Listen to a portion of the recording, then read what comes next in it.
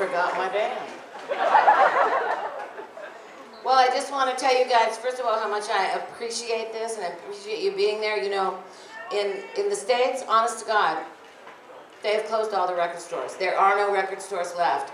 And it's like, it's sad because even, you know, not that long ago, you drive down Sunset Boulevard in Los Angeles, in Hollywood, and there's a big Tower Records, and then, of course, if you had a new record out, it would be plastered on the front. There would be your face, and then there would be a huge, massive billboard that would be on a building. And now, that's just gone. It's just going away, and it's so great that it's still here in England. I just, you're so lucky. Don't let it go.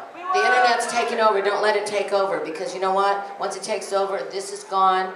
And it's like, then what happens to our, you can't go and hang around and buy music and talk to people. It's such a sad thing. So it's so wonderful you're here. I appreciate it so much. And uh, so let's get to signing.